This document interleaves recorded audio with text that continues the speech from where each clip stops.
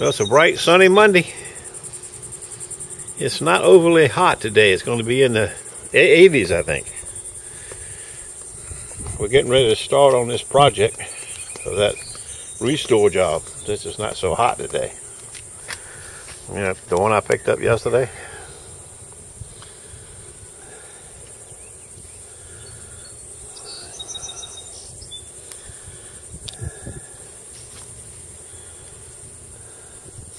Okay. Let's get to work.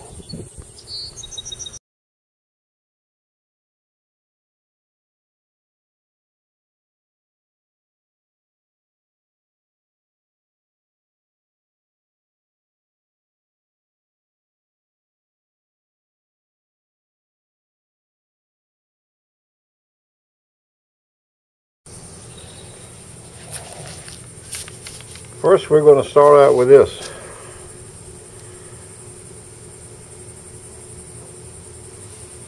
It's like a Scotch-Brite pad on an angle grinder.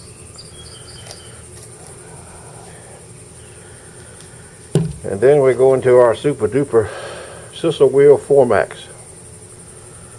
It goes on that wheel right there on the buffer. Stand by. Well, I can tell you that that Norton, what's it called? Rapid strip. Look what it does. That's a fantastic. Now that's just that wheel. That's nothing. I haven't done any buffing or anything to it yet. All I got to do is buff it up now with some of that compound. You can see the name of it now is Cattaraugus or some damn thing. It's amazing. Beautiful. You see that big scar we saw yesterday is still there. I'm going to leave that in there. Got a couple of nicks in the blade right there. It's had a little rough life for, for an old baby. I don't think you can see any better out here in this bright sun.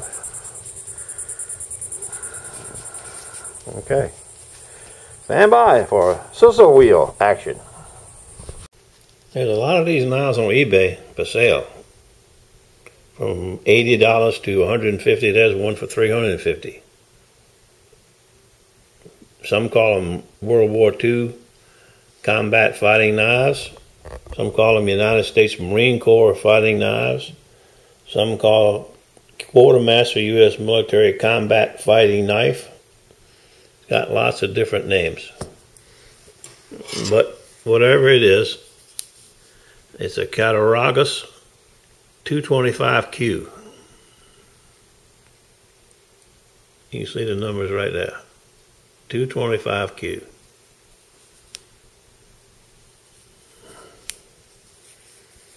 Handle worked out nice too, with a little oil on it.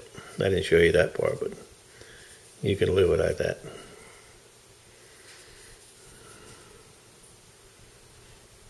That's the only thing that's stay there is that nasty slice from a grinder.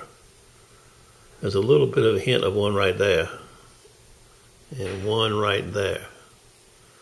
But other than that, that baby's ready to go. I got the edge nice and sharp. He said he wanted to take it camping with him. So I left it a little toothy so he can cut rope and trees and hack it and whatever he wants to do with it. All in all, a nice little job. Yeah, I think he said it was his grandfather's knife. She's ready to go now.